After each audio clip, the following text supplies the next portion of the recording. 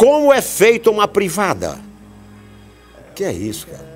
Deixa eu ver Como aqui. é que é, meu amigo? Eu tava falando tanta coisa bonita. Deixa eu ver aqui. Senta aí na sua e acompanhe como é feito um vaso sanitário. Mas tudo bem, televisão tem que falar de tudo. Vamos lá, joga no ar. Hoje você vai ver como que é feito um dos objetos mais importantes da história da humanidade, uma peça fundamental para os filósofos, para os grandes pensadores. Aliás, eu aposto que tem muita gente que está assistindo esse vídeo sentado em cima dela. A gente vai visitar uma fábrica de privadas. Bora ver! Essa aqui é a fábrica da Deca, em Jundiaí, no interior de São Paulo. A história toda começa num centro de desenvolvimento, é onde o pessoal projeta as peças. Aqui nessa fábrica são quatro modelos novos por ano. Nessa hora não é só a beleza que importa. A privada também tem que funcionar direito, gastando pouca água. Primeiro cada bacia é desenhada no computador e então eles fazem um modelo grande de gesso e levam para um comitê aprovar. Nessa sala aqui é feito um teste com esses saquinhos que tem uma pasta de soja. Você deve imaginar já o que isso aqui vai simular. No teste são colocados 20 saquinhos, o que dá 1 quilo de cocô falso. A sorte é que tem cheiro de soja. Também vão 5 pedaços de papel e depois a gente dá a descarga. Essa gavetinha aqui serve pra gente ver se realmente tudo desceu pela privada. E nesse caso, se você exagera na feijoada de final de semana, você pode ficar tranquilo que essa privada aqui dá conta.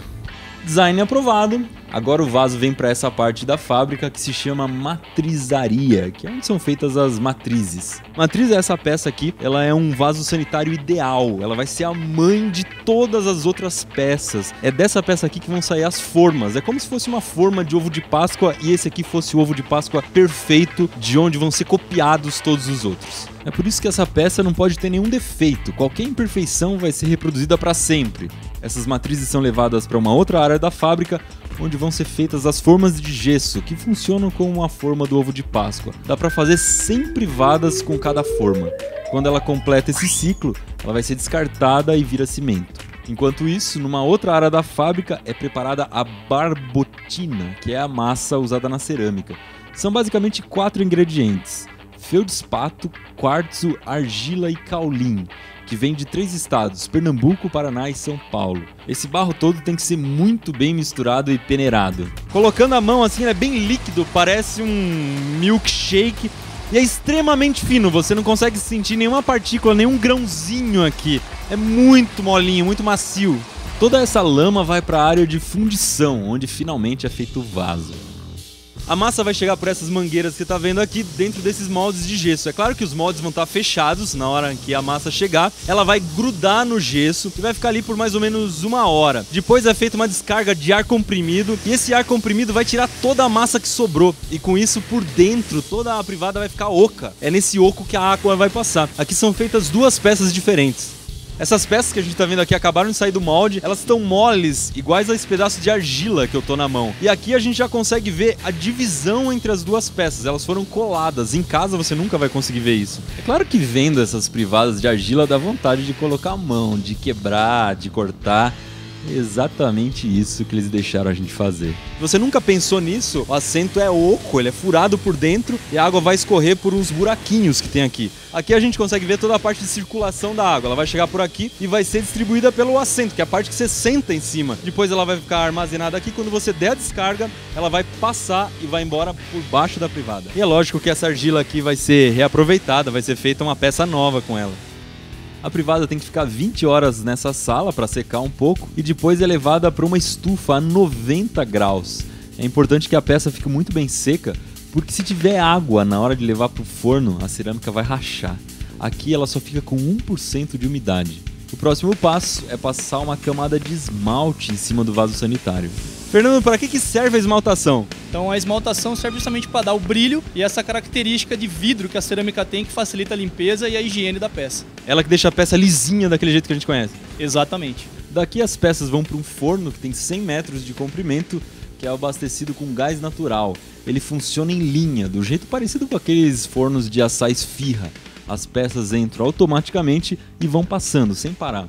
O forno funciona sem nunca desligar e uma peça leva 14 horas desde que entra até sair na outra ponta.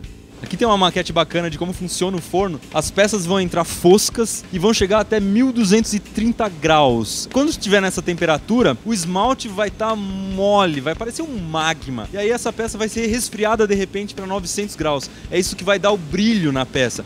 Uma outra coisa interessante é que ela entra de um tamanho e sai de outro. Ela sai bem menor do que entrou. Quando a cerâmica termina de esfriar, ela já está pronta e agora só faltam alguns testes. Uma pessoa mede para ver se está tudo no tamanho certo e se não tem nenhuma rachadura.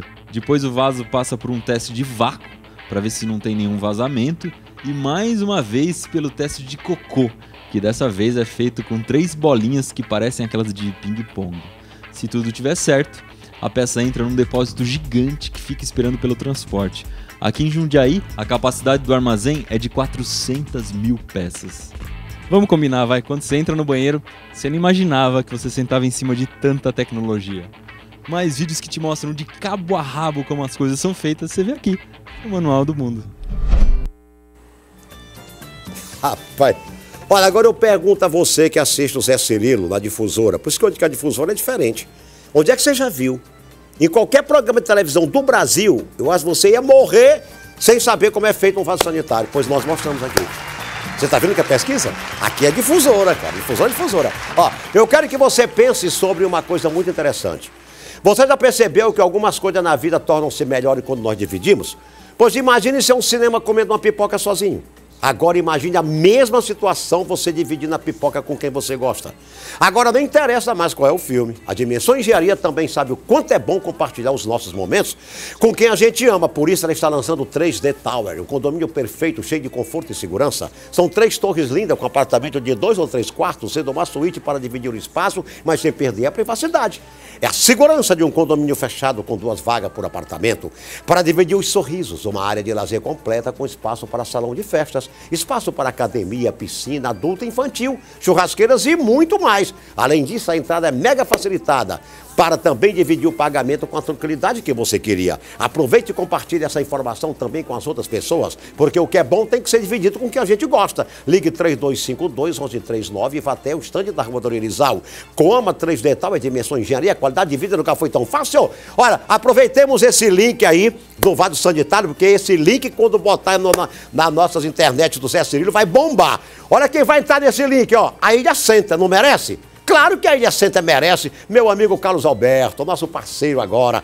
Olha o que vai ter para o Dia da Criança. Criança feliz é na Ilha Santa e na rotatória, na rotatória da Forquilha. Mostra mais, olha os brinquedos para criança aí, ó. Meu amigo, na rotatória da Forquilha, Ilha Santa, vai só olhando as imagens. Olha o que tem para o Dia da Criança. Você vai fazer um aniversário, você que vai fazer, decorar sua casa para, para, para receber as pessoas, ó. Segunda sexta ó, de 8 a 19, sábado às 18, domingo de 8 às 13, até, até domingo é aberto. Essa casa linda do meu amigo Carlos Alberto, ó. Uma casa de festas, ó. Meu amigo, quando tu pensa fazer o aniversário de uma pessoa tua, vai na Ilha Senta que o precinho tá bombando. Desse tamanho, né não?